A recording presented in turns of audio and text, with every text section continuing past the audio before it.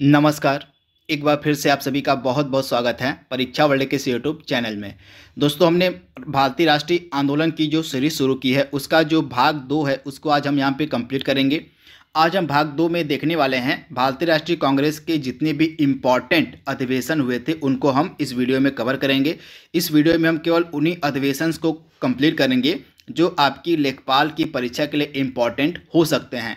भारतीय राष्ट्रीय आंदोलन का हमारा जो पहला वीडियो था, उसमें हमने देखा था, कांग्रेस की स्थापना से जुड़े इंपॉर्टेंट फैक्टों को तथा आज का हमारा जो सेकेंड वीडियो है, इसमें हम देखने वाले हैं भारतीय राष्ट्रीय कांग्रेस के इंपॉर्टेंट अधिवेशन को। दोस्तों, आपका जो लेटेस्ट का सिलेबस जारी किया गया था जीएस का यानी कि सामान्य विज्ञान का, उसमें यह जो टॉपिक है, भारतीय राष्ट्रीय आंदोलन का मेंशन है तो इसी सीरीज़ को हम पूरे डिटेल में कवर करने वाले हैं वन बाय वन करके, क्योंकि भारतीय राष्ट्रीय आंदोलन से आपके एग्ज़ाम में चार से लेके पाँच प्रश्न तो पूछे ही पूछे जाएँगे।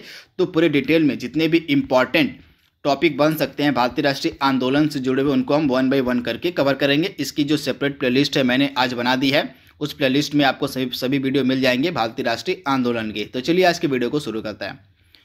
तो आपको भारतीय राष्ट्रीय कांग्रेस के जितने भी इम्पोर्टेंट अधिवेशन है, कम से कम उनको तो याद रखना पड़ेगा। जितने भी मैंने इस वीडियो में अधिवेशन रखे हुए हैं, कम से कम आप उन्हें ज़रूर याद करके एग्ज़ाम में जाइएगा। तो एक तरफ़ आप देख रहे हैं, एक तरफ़ अधिवेशन दिया गया है, उनका वर्ष और स्थान दिया गया है, और एक तरफ़ उनसे जुड़े अध्यक्ष दिए गए हैं, और उन अधिवेशनों से जुड़े जो इंपॉर्टेंट फैक्ट बन सकते हैं, उनको एक तरफ़ लिखा गया है। तो पहला जो कांग्रेस का अधिवेशन हुआ था, वो हुआ था अट्ठारह में, कहाँ पर? तो बम्बई में हुआ था। इसकी अध्यक्षता की गई थी व्योमेश चंद्र बनर्जी के द्वारा इंपॉर्टेंट है। व्योमेश चंद्र बनर्जी के द्वारा जो है भारतीय राष्ट्रीय कांग्रेस के प्रथम अधिवेशन की अध्यक्षता की गई थी।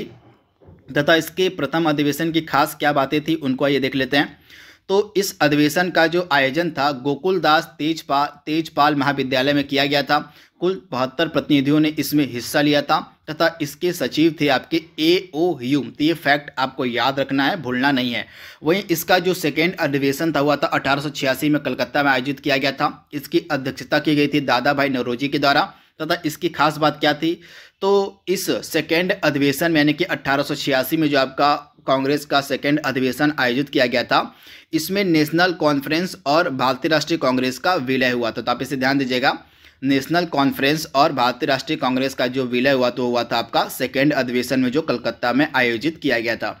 इसके बाद आपका जो थर्ड अधिवेशन था, अठारह सौ सतासी में हुआ था मद्रास में। इसकी अध्यक्षता की गई थी बदरुद्दीन तैयब जी के द्वारा। तथा ये प्रथम मुस्लिम अध्यक्ष बने थे बदरुद्दीन तैयब जी, जिन्होंने भारतीय राष्ट्रीय कांग्रेस के अधिवेशन की अध्यक्षता की थी। तो इंपॉर्टेंट है, आप इसको स्टार मार्क कर लीजिएगा। प्रथम मुस्लिम अध्यक्ष आपसे एग्ज़ाम में पूछे जा सकते हैं, जिन्होंने कांग्रेस के अधिवेशन की अध्यक्षता की थी। तो आपको इनका नाम याद होना चाहिए। बदरुद्दीन तैयब जी, इन्होंने अठारह के मद्रास अधिवेशन की अध्यक्षता की थी। इसके बाद इसका जो चौथा अधिवेशन था, हुआ था इलाहाबाद में अठारह सौ अट्ठासी में। इसकी अध्यक्षता की गई थी जॉर्ज यूले के द्वारा। तथा ये प्रथम अंग्रेज़ अध्यक्ष थे जिन्होंने कांग्रेस के अधिवेशन की अध्यक्षता की थी। तो इम्पोर्टेंट है अठारह सौ अट्ठासी का इलाहाबाद का सेशन इसके बाद 1890 में कांग्रेस का अधिवेशन होता है कलकत्ता में। इसकी अध्यक्षता की जाती है फिरोज शाह मेहता के द्वारा इम्पोर्टेंट है। तथा इस अधिवेशन में कलकत्ता विश्वविद्यालय की पहली यानी कि प्रथम महिला स्नातक, जिनका नाम था कादम्बिनी गांगुली, इन्होंने कांग्रेस अधिवेशन को संबोधित किया था। तो ये फैक्ट भी आपको याद रखना है। इसके बाद अगला इंपॉर्टेंट अधिवेशन है अठारह सौ छियानवे का कलकत्ता अधिवेशन कांग्रेस का।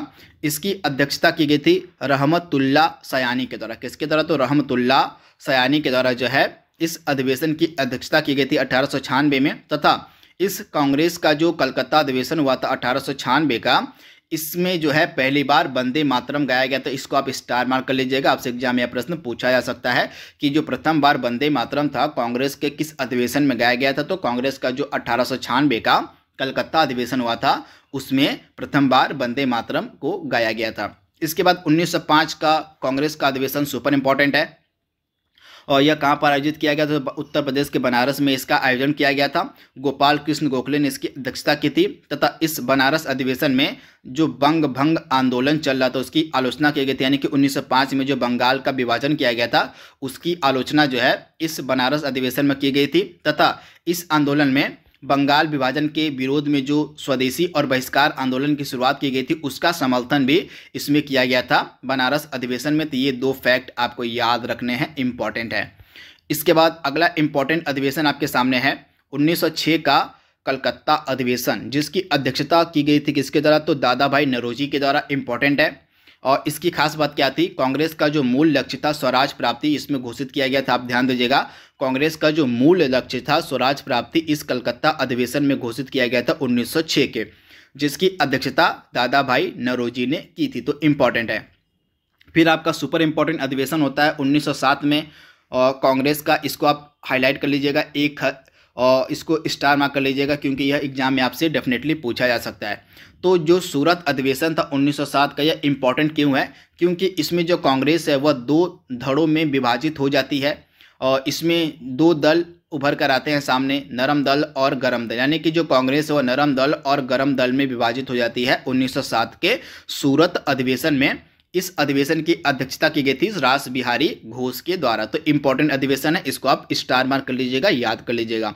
दोस्तों, अभी तक मैंने दो क्लास ली है भारतीय राष्ट्रीय भारतीय राष्ट्रीय आंदोलन की। तो पहली क्लास हमारी थी किसकी? तो हमने कांग्रेस की स्थापना को देखा देखा था किस प्रकार से की जाती है, उससे जुड़ी जितने भी इंपॉर्टेंट फैक्ट और पॉइंट बन सकते तो उनको हमने पहली क्लास में डिस्कस कर लिया था।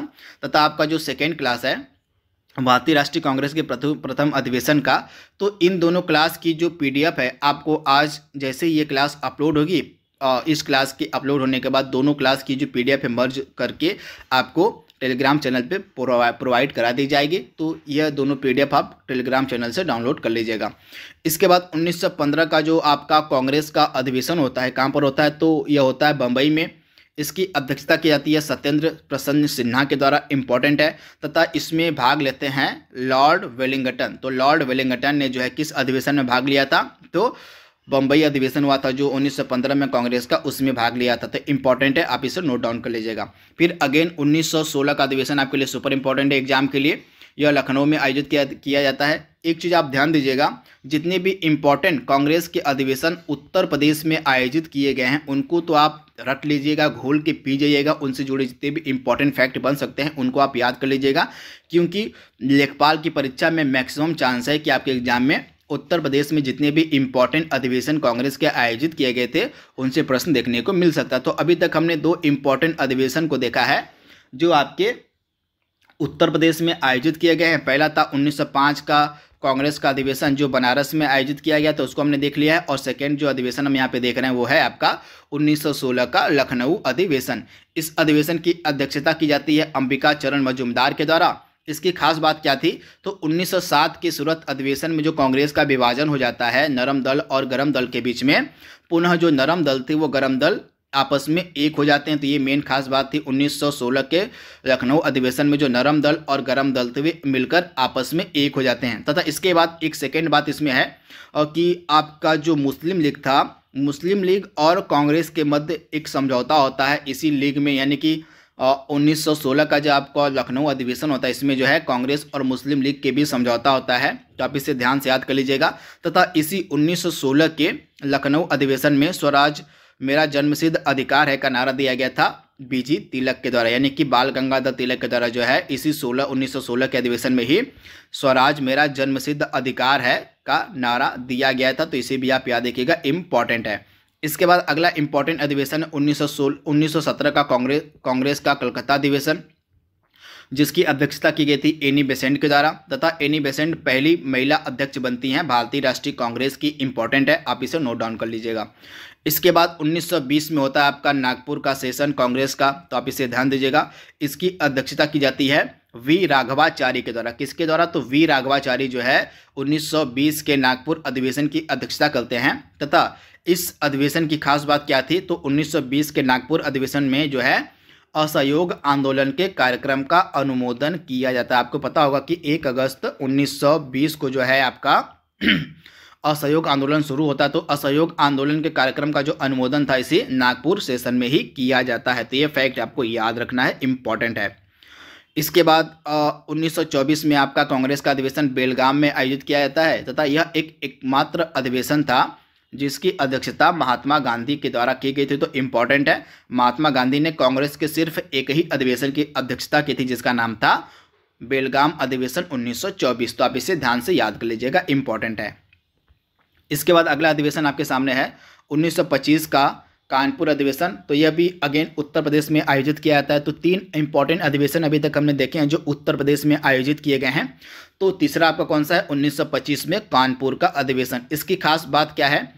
तो इसकी खास बात है कि सरोजिनी नायडू ने इस अधिवेशन की अध्यक्षता की थी तथा सरोजिनी नायडू जो थी, ये प्रथम भारतीय महिला अध्यक्ष बनती हैं। तो इसे आप याद देखिएगा प्रथम भारतीय महिला अध्यक्ष बनती हैं आपकी सरोजिनी नायडू, जिन्होंने कानपुर सेशन की अध्यक्षता की। तो इसे आप ध्यान से याद कर लीजिएगा। उसके बाद 1927 का जो मद्रास अधिवेशन था, इसकी अध्यक्षता की जाती है एम ए अंसारी के द्वारा तथा साइमन कमीशन का इसमें विरोध किया जाता है उन्नीस सौ सत्ताईस के मद्रास अधिवेशन में।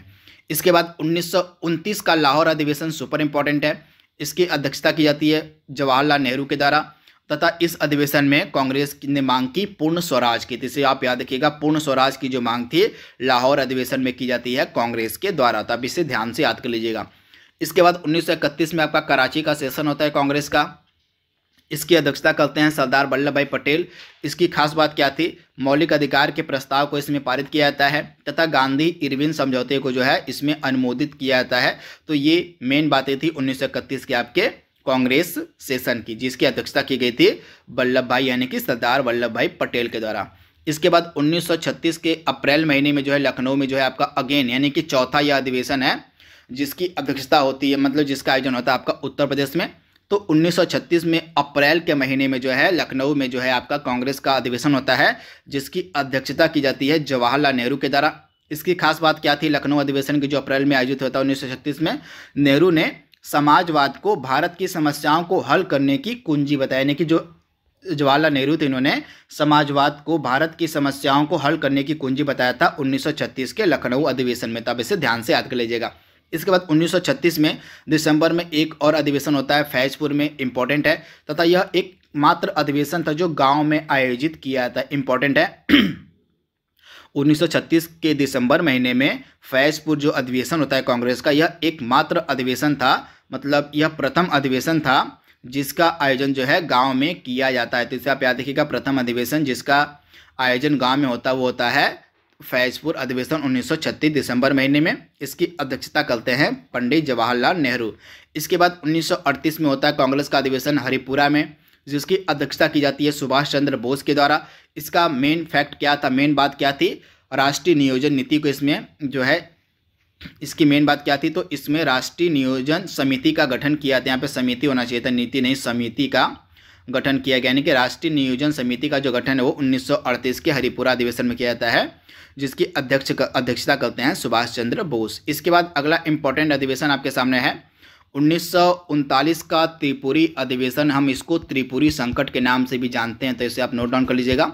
इसकी अध्यक्षता की जाती है सुभाष चंद्र बोस के द्वारा, तथा बाद में कुछ जाके विवाद हो जाता है महात्मा गांधी और सुभाष चंद्र बोस के भी, जिसके कारण सुभाष चंद्र बोस जो होते हैं, उन्होंने कांग्रेस की अध्यक्षता से त्यागपत्र दिया, तथा जैसे ही इन्होंने कांग्रेस की अध्यक्षता से त्याग पत्र दिया तो इसके बाद जो कांग्रेस के अध्यक्ष थे बनाए जाते हैं आपके, डॉक्टर राजेंद्र प्रसाद इसे आप ध्यान से याद कर लीजिएगा इंपॉर्टेंट है। इसके बाद आज का लास्ट इंपॉर्टेंट आपका कांग्रेस का सेशन है 1946 का मेरठ अधिवेशन इंपॉर्टेंट है।